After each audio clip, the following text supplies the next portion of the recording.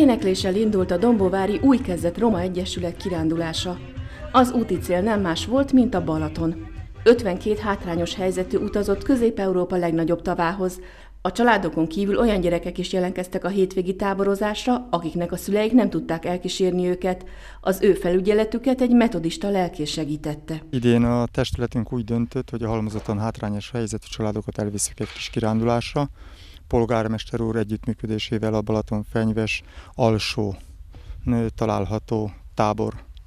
Ugye ez az önkormányzati, ezt megkaptuk erre a napra, a teljes ellátás mellett egy életre szóló élményben is részesülhettek azok, akik részt vettek az eseményen. Szerintem nagyon nagy örömök, örömöt sikerült nekünk, nekik ö, okoznunk, hiszen nagy volt a meglepetés, nagy volt az izgalom, és, és az a rémület. Tehát ezek a gyerekek, családok még szinte nem is voltak sohasem ezen a tájon, ezen a részen. Voltak olyan családok, gyerekek, akik először megijedtek a víztől, féltek az újdonságtól, ám miután belelógatták lábukat a magyar tengerbe, már nem jelentett gondot számukra a fürdőzés.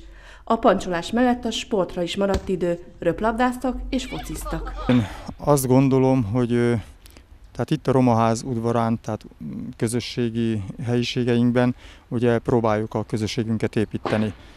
Itt sokkal szervezettebben működött, sokkal hatékonyabban és jobban összefogtak ezek a családok. Ligorovics Zsolt, a Dombovári Roma Nemzetiségi Önkormányzat elnöke reméli, hogy jövőre még több napot tudnak a Balatonnál tölteni, hiszen a családok nagyon jól érezték magukat olyannyira, hogy még a hazafelé vezető utat is végigmulatták.